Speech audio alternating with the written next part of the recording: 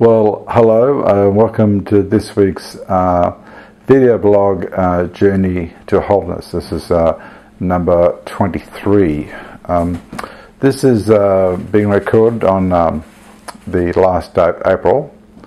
Uh, so the 28th of April is the sixth month anniversary of my medical moment when I had a stroke, and it is the ninth month anniversary of uh, my heart attack. I had a stent uh, and put in my body.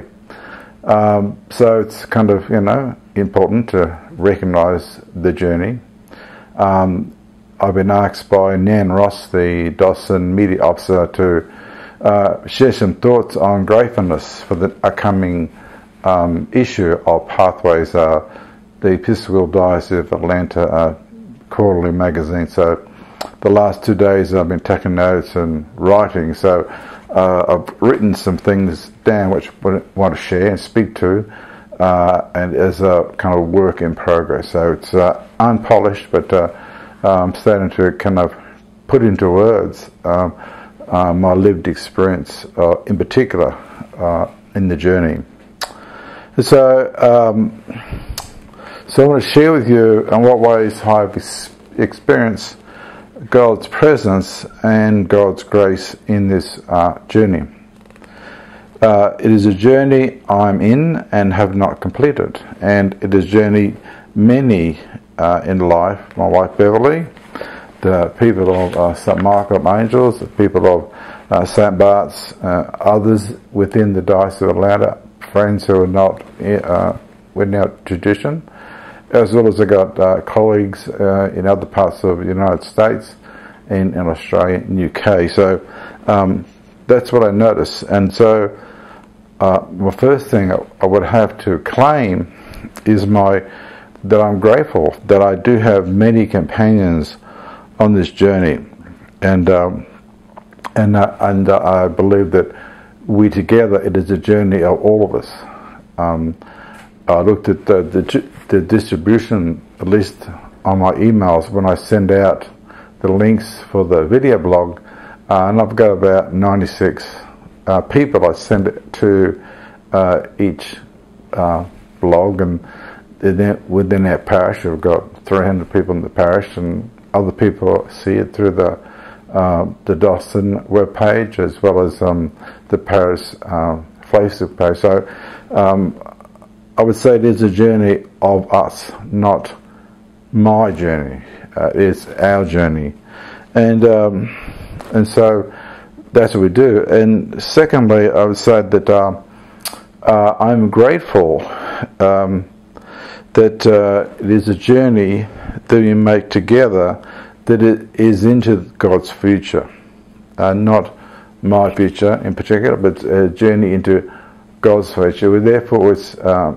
it's not known. It, it is kind of a mystery. The journey. Now, I cannot know when the journey will end, but I'm certain where I, you will end up. Therefore, in God. Uh, how we get there is up to us. And this important uh, way, I think, to live is to accept the responsibility of being on a journey and it, that each day the journey could go left or right, using the metaphor of travelling. We go up and down, you know. So we we have the opportunities to make many decisions on how to go on a journey. And so for me, uh, when I think back over the last nine months, I have moments and uh, fleeting thoughts and fragments of memories that arise um, to my consciousness. Um, too many to name or to uh, share, but nevertheless, uh, I note some in um, gratefulness. Um, I would have to say that my thoughts about my experience of gratefulness is strongly influenced by the writings of uh, Benedictine writer monk called Brother Steindl-Rast, and he wrote a book called Gratefulness, the Heart of Prayer I think it came out in the early 80s, but I got my copy like 85, I think. And uh, it has been the, the bedrock, uh, a foundational text, which helps me to under, understand how to live their grateful life, how to be with other people where gratefulness is the essence, uh, how to be grateful for my body, uh, whatever the circumstances, uh, that, that core to my being. Over the years, uh, Beverly and I, we don't have children. We when I been unable to have children, uh, so where I am infertile, we, I'm diabetic, I've had a heart attack, I've a stroke. I mean, one could say, oh, you poor bugger, you know. But, uh, but I have to say, uh, my life it, lived on the bedrock of gratefulness and as an orientation, what to think as other people have commented on, like, how have I been able to live through this? And I said, well, for me, it's kind of more simple, you know, like, I'm grateful uh, and that's okay. Um, so it's a great book. Uh, I highly commend it to you. I invite you to discover his writings. Um, I believe that uh, we are to be grateful all the time. And so, therefore, um, gratefulness for me is an active, uh, conscious, lived manner or an intentional spiritual life um, we are to be grateful. And we have to do being grateful as well. We have to be it as a core being, but uh, we do it. We, we do things for ourselves. We are to do things for others, which in of themselves are essentially acts of gratefulness, which is a verb. So, uh, being grateful is not just, oh, I'm so grateful, but you know, gave me a nice cake on my birthday. You know, that's nice. Uh, but uh, that would be to um, trivialize uh, the disposition of a grateful human being made in the image and likeness of God. Therefore, God is grateful, and uh, Jesus is grateful, and the Holy Spirit is grateful. So uh, it shapes us, uh, and therefore, um, lived experience is how uh, is uh, is the interplay of uh, people in my life, uh, places uh, I've been to, and the events. So for me, you know, uh, the people in my life through the heart attack and the stroke, my friends Letitia and Megan and uh, Sue and Aaron and Beverly and the people at St. Bart's, many people like stacks of cars have come in the mail. All these persons who have been part of the events such as a medical event, being in hospital is a place. Uh, these interplay with one another. Uh, being in therapy, going to speech therapy, OT therapy, uh, uh, physical therapy, acupuncture. There are many places that I've gone to during the week, Monday to Friday, as part of the healing. It's part of the journey. And so it's an interplay, interplay of all of that which is the crucible in which I get to be generous to other people, as opposed to, oh, poor me, I've, I've had these horrible things, and you need to help me, and you need to do that. And you, you know, we have to um, resist the temptation um, to be grateful. Uh, so we resist the temptation, temptation to do the other thing.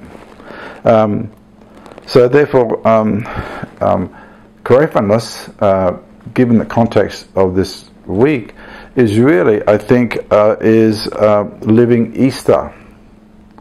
It's uh, it is it's an ongoing living of Easter in the ordinariness of our life, and in our view is a medical uh, moment like heart attack and a stroke is actually ordinary because lots of people have heart attacks and strokes, and so uh, life is a continuation rather than a distraction, and therefore we have to live life. And I think this is the call to gratefulness to live in the here and now. Uh, the Holy Spirit is here, uh, uh, God is here, and therefore I'm grateful um, that, that they're here, the Trinity is here. I'm grateful my wife is here. I'm grateful that uh, my parish relationships are here. And so, therefore, the journey is great. Gratefulness in this understanding is about living in here and now as distinct from the experience of lived ungratefulness. And uh, with that, I mean ungratefulness is a manifestation of living not here and not now. Um, some people, ungratefulness is, is manifest by uh, living in the past. It's as if their spiritual life is frozen in time. Something back there and then. Somebody did something, they failed to get a job, and they're ungrateful. Uh, but gratefulness is not about life frozen. It is about the flowing life. It's the Holy Spirit and the Spirit of God flowing through us as an ever-present activity, and therefore an ever-present opportunity to when I get up in the morning, I say my prayers to God and thank God that I'm alive. And then at the end of the night, I commend my life to God. Um, it helps me to live out my own particular gratefulness.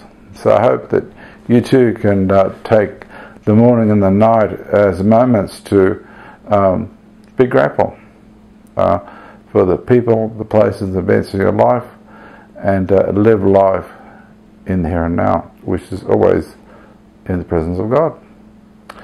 Thank you. God bless. Live well. Live strong. Live long.